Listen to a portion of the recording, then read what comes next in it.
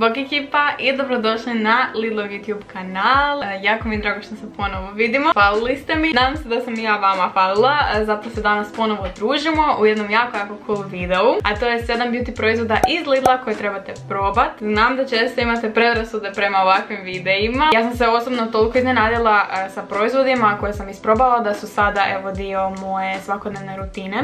Tako da neću duljiti i možemo odmah krenut. Počet ćemo odmah sa mojim naj najdražim proizvodom, a to je ovo Highlight Rumenilo, koje je stvarno evo najljepše boje koje sam ja vidjela. Nije prerozo, nije prešljokasto i ono što ja stvarno volim je kad njega stavite, ajmo reći da je dva u jedan jer kako vam se lijepo e, obraz ja izgleda kod imate i highlight i jako vam koža izgleda glowy, a općenito volim jako rumenila jer baš podignu cijeli look, e, malo vas užive i stvarno e, proljepšaju cijelokupan izgled lica. Tako da to je moj prvi proizvod. Odmah ću vam reći da je on u nijansi 10, a nijansa se zove Secret Lovers, tako da ako tražite da znate da je to ova nijansa. I fun fact, imam ih dva ljudi moji, jer kad sam isprobala prvi, kupila sam odmah drugi kad sam bila u Lidlu, jer sam se bojala da će ih izbaciti iz prodaje ili da ih idući put neću naći, tako da imam za backup dva. Idući proizvod je Sjenilo, njihovu eyeshadow duo. On mi se jako jako sviđa, zato jer sam ja tip osobe koja ne voli ogromna pakiranja. Često putujem i često se šminkam i u autu i na putu i tako dalje. E, I onda stvarno nije praktično kad imate e, cijelu tipa paletu za oči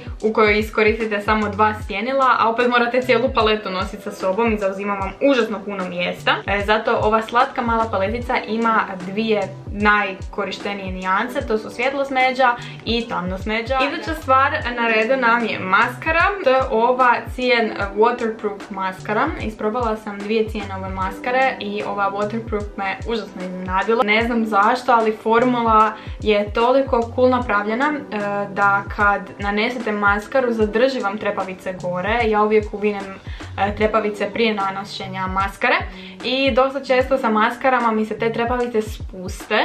E, ostanu one lijepe i duge, ali ja imam dosta ravne trepavice, tako da želim da mi ostanu gore, da mi otvore oko.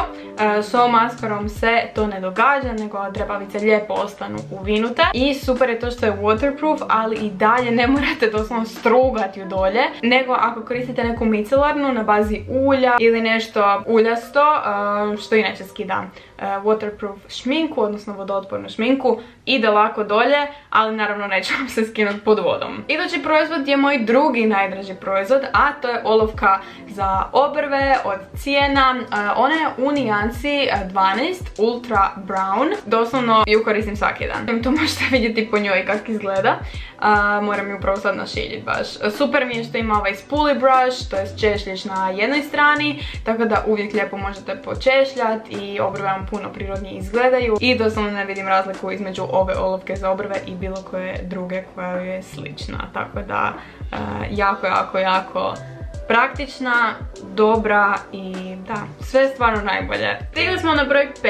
Ovdje imamo i proizvod za usta, nisam smjela naše usnice zaboraviti. To je ovaj cijen Lip Butter u nijanci 13 Sweet Pink, koja je predivne ove baby pink nijanse koju ja najviše volim e, na usnama jer izgleda najprirodnije i da, koliko god mi volili mat ruževe, e, sve to stoji, ali ja sam uvijek tip za onaj ruž koji hidratizira usta i puno mi je bitnije da su mi hidratizirana e, nego da su full mat. Zato je ovaj lip butter savršen jer vam hidratizira usta, a i dalje dobijete lijepi sjaj i boju. Predzadnji proizvod je proizvod koji sam isprobala nedavno, a to je cijenova bebe krema koja toliko lijepo miriše najfinija stvar na svijetu. Moja je u nijansi light i također u sebi sadrži zaštitni faktor 15 što je meni uvijek super jer zaštitni faktor rijetko kad nanosim na lice tako da se trudim da moji proizvodi koje koristim imaju već to u sebi tako da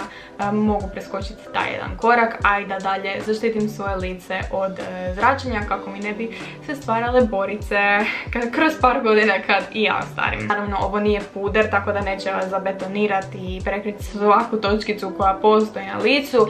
Ovo je nešto ono everyday što je malo laganije za kožu izgleda puno puno prirodnije. I sedmi proizvod je Lidlov Matte powder, odnosno puder u kamenu. Kad vam kažem da dugo, dugo nisam koristila ovakav puder u kamenu, stvarno nisam, jer često koristim onaj puder u prahu koji je bijel, odnosno proziran, translucent. Ovo je super zato jer vas ne zabetonira, nego vas samo zamatira, što ja jako volim. Ovaj daje tu neku prirodnu teksturu, ja ga nanosim na Beauty Blender koji je po mogućnosti mokar i onda stavljam ispod očiju. Moje u nijansi 11 medium. To je ekipa zapravo to.